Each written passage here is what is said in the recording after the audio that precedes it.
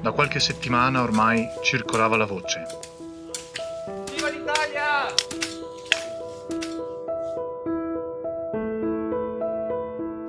Carlo, anche se non l'avrebbe mai confessato, era nervoso. Silvio lo capiva. All'improvviso nella casa era sceso il silenzio. Un mese dopo la sua partenza, Carlo scrisse una lettera alla famiglia.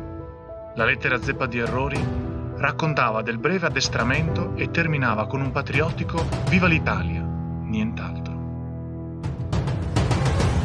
Carlo, è tornato Carlo. E com'è fare la guerra? domandò Silvio. Carlo lo guardò. Come si faceva a raccontare una guerra? Partiva. Finalmente partiva.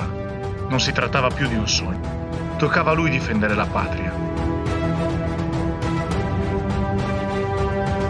L'addestramento fu brevissimo, appena due settimane e lacunoso. Dopo due anni di guerra, i comandanti non hanno ancora capito che l'attacco frontale non ha alcuna possibilità di riuscita. Loro non l'hanno capito. I soldati al fronte, sì.